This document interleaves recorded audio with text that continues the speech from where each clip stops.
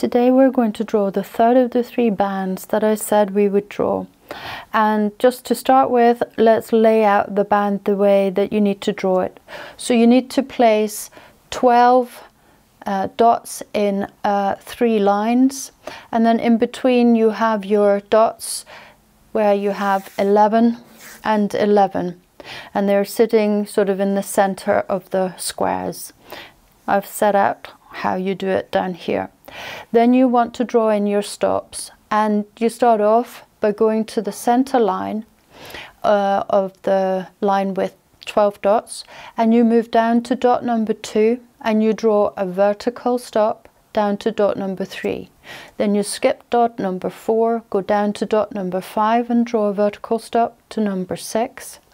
Then you skip down to dot number seven and draw a vertical stop down to dot number eight. You skip your dot number nine and go down to dot number 10 and draw a vertical line down to dot 11. That's the vertical stops that you need to put in this band. Then I suggest that you put in another few stops and the easiest way of doing this is simply by looking at where your vertical stops are already and you find the little dot, little center dot and draw a horizontal stop out to the side, either side of your uh, vertical stops. So you do that all the way down, like so. And then what you want to do is you want to go down. So you want to find the dot that didn't have any stops running vertically from it. And out to the side you want to place a sort of almost not quite into the center a horizontal stop. And I've put number two here at the side simply just to remind myself that it actually comes in on a little bit on either side of this dot here. And the same here at the bottom between those two bottom um, vertical stops you place your horizontal stops like like so. So you actually have quite a few um, horizontal stops as well as vertical stops. The reason that you want to do this is because the band is not drawn where you have uh, your normal way of working through. Normally we would work up until I can't get further. Here I'm hitting my stop and then I would turn and come in between the dots here. But we don't do that in this band. This band is different and that's why it's also a little bit more complex because here we're working more freely and we're really working with forms and trying to create a beautiful band. Here I've drawn up the form that we're going to work with in this band so that you can see what it looks like. So we're going to use this shape and we're going to use this shape and we're going to use a sort of semicircle as well. So if you want to practice, those are the three lines to practice. But I suggest that you practice them in the actual band. So here is the first of the lines that corresponds to this line here. And in order to make this band beautiful, you want to try and aim for this line to kind of stop roughly at the same sort of vertical axis as this one where it started. And then you want to move from here up and come down a nice curve out to the side. Now obviously you can see I've got my line here but when we're drawing it here we're not going to have that so you just have to kind of try and um, feel your way and make sure that it sort of comes out roughly as far out here on this side as it is on this side then you want to move round back up and back down and round to the side. I'm not going to try and talk you through how you know you're getting your stops and meeting stops etc like we normally do because it doesn't really make uh, necessarily make sense. So I would then draw the bottom shape like so out to the side again here you know this line wants to kind of meet. Obviously it wants to meet up with the line where it started but we want to start when we're doing this line here we want to start it so that it's sort of in line with the the line up here. That will give a nice overall shape to this um, form. The next step is to try and draw in the band and this is where I think the stops come in handy. We start out to the side and we move round all the way and we take in that dot, come down and then we have a little pause. Here I'm coming round and up. I'm catching that dot before I'm coming back down and out to the side. And here I'm at that place where I was describing over here. So here I can see already I'm a little bit further out here than I am here with my line.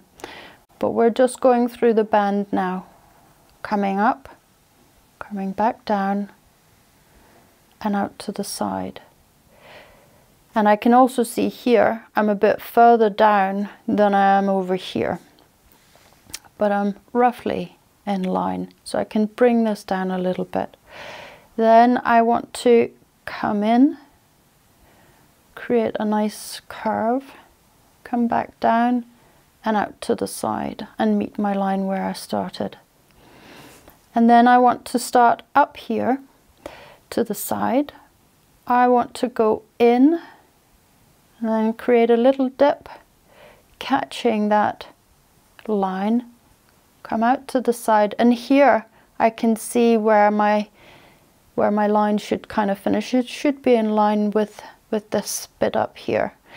And then I'm creating this rounding curve, meeting up with the line there where it started. The next line is going to start up here. And I want it to be roughly in line with this here. So I'm starting it here, coming round, in, out to the side, and I'm a bit further out, I can see that already, but that's okay. It's a living drawing. And then I'm coming in and creating a little dip, back up and out to the side. And here I want to be roughly in line with this um, drawing bit already down here. And I think I am when I'm like this. So then I'm coming in, down, out to the side. And here, yeah, here I'm in kind of in line already. So here, I then want to create a, a new dip. I want to actually catch this bit down below before I come up and meet. So here my line is interweaving with this line here. The next uh, section that we're drawing is actually started here. So we come up and round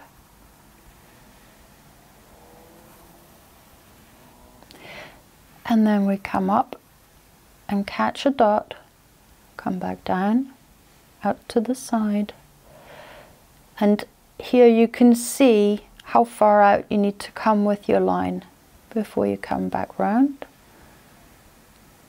Out to the side again you can see how far out you need to come with your line and then you come in and up and then back down and meet your line where you started it.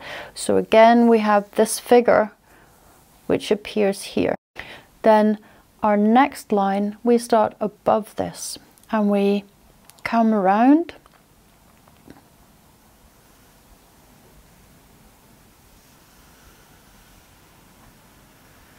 Right to the side then we come down. Out to the side and then we come back in. Out to the side and here we come in and down and catch our bit, come out to the side and meet our line where we started it. And then we've got our line where we started at the top here, we're curving round all the way. And then we come up and down out to the side. And so here you have this form, this semicircular finishing form. You have that repeated down here. Once you've drawn through your band, what I suggest you do, and what you could do, is you can turn it on its side. What happens when you turn your band on the side is you get a sense of how symmetrical uh, and harmonious your band has gotten. And here you can see it's fairly harmonious, it's fairly symmetrical. I want to just briefly show you, you can pause the video because it shows the uh, vertical stops here has the vertical stops as like we went through. And then I've put little numbers here one one one because there's four vertical stops. That just reminds me that I need to put in the horizontal stops and uh, on either side of these uh, vertical stops. And then number two that I've put out here is just to remind myself that I also need a couple of stops that are a little bit longer uh, on either side here. Once you've got your lines under control and you can draw your forms beautifully, I suggest you continue by drawing it so that it weaves. And like you can maybe see here, I've already done a pre-drawing so that I just follow the band with my colored pencil.